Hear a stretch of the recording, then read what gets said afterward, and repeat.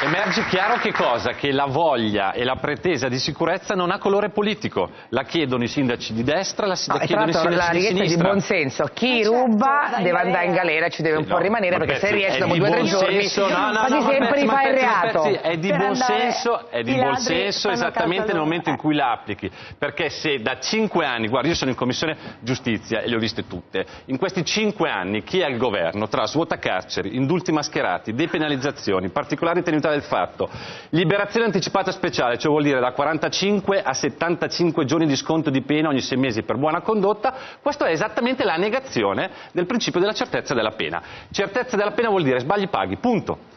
E posso utilizzare questa trasmissione per rilanciare e per chiedere e per lanciare un accurato appello al governo, alla Malpezzi.